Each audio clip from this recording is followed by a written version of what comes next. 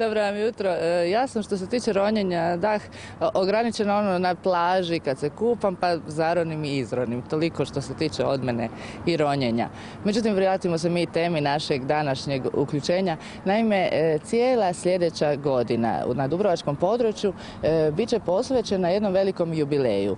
1700. obljetnici mučeništva Svetoga Vlaha.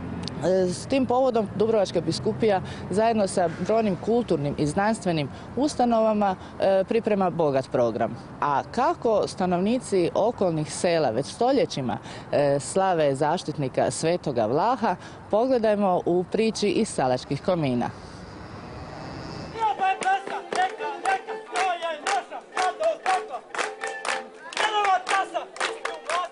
Svaku pravu festu u Dubrovačkom primorju začini Linđo.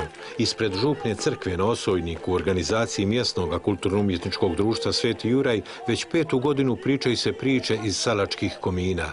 Najvažniji događaj u Dubrovačkom kraju, onaj ki dohodi nami jednom na godište, festa je Dubrovačkog zaštitnika i parca Svetog Vlaha. To su običaji koji su sočani stoljećima već održavaju i evo tako da smo prikazali kako je to bilo u nekad u stara vremena, kako su se ljudi spremali, kako su na kandeloru muški pucali u kopsicu. Žene pripremaju robu, ventaju, sve najljepše što imaju, sređuju, pripremaju se. Pa evo, ko što smo i danas nevijesti u grad nosili hrane, nose i to Uz prigodni igrokaz kako su očani u gradu nakon feste idu na objedu svojih, kako dočekuju prijatelji iz Konavala i Hercegovine, izloženi su i stari alati bez kojih je u tom kraju život bio nezamisliv. A pripremala se i hrana u kojoj su živele stotine posjetitelja, ponajviše u Sočivu bobici, koja je najbolja dobro začinjena maslinovim uljem. Nije naravno izostao ni stari dubrovački kolač pandišpanj parcu u čast. Ipak posebnu pozornost privuklo je vježbanje izvijanja barjaka koji se s velikom čašću i ponosom nosi u procesiji s tradunom.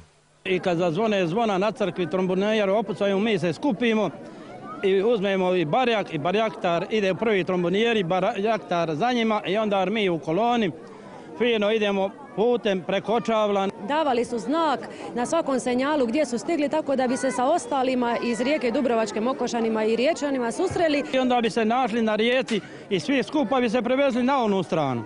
I onda bi se u Batahovini sastali sa Riječanima, Komolčanima, gore Šumećanima i onda bi pješke sve do, sve do crkve Svetoga Vlaha u, gradu. Cijelu godinu Sočani bi se pripremali za taj događaj, da se u gradu prikažu u najboljem svjetlu. A pošli bi obavezno i na sajam.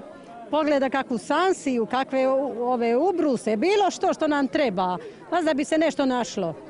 Iako ni selo nije što je nekad bilo, priče iz selačkih komina čuvaju tradiciju pradjedovske običaje i višestoljetne svetinje.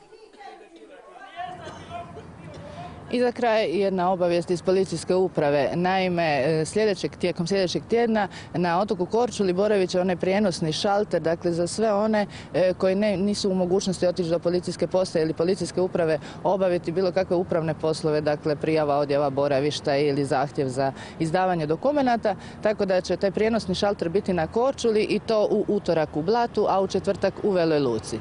S tim e, informacijama srdačan pozdrav iz Dubrovnika.